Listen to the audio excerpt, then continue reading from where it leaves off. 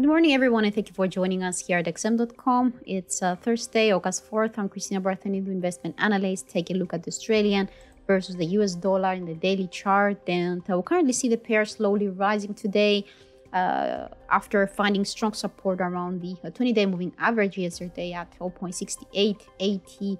Uh, the price is currently trying to overcome the 50 day moving average, which, if we switch to the 4 hour chart, this is where the uh, 20 and 50 period moving averages are also placed. Uh, therefore, that area uh, could confirm uh, additional gains if the price manages to close uh, higher today.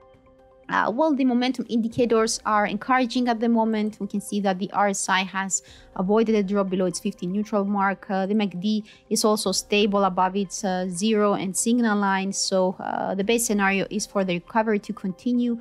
Uh, therefore, once the price uh, moves above the 50-day moving average, the next obstacle could uh, come around the previous high of 4.7046, uh, the 38.2% uh, Fibonacci retracement of the downfall from 0.7660 to 0.6680 is adding extra importance to that region. Uh, so another uh, violation at this point uh, could further boost buying sentiment, likely sending the price towards the 200 uh, day moving average currently at 0.7158 uh, not far above that.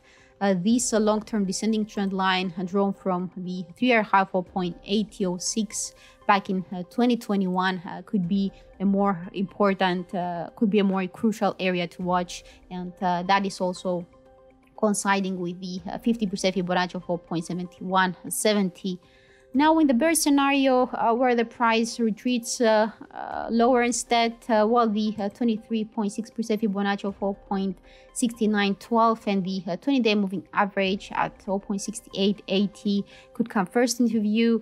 If the sell-off continues from here with the price also closing below the 0.6850 support region, I expect a more aggressive decline to take place towards the 0.6750 0.67 and 0.6710 uh, key uh, base.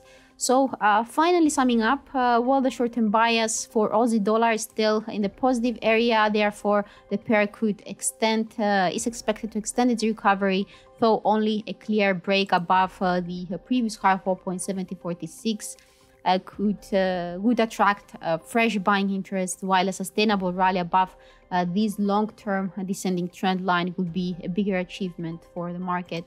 So that's all for Aussie dollar today. Thank you for watching and have a great uh, trading day.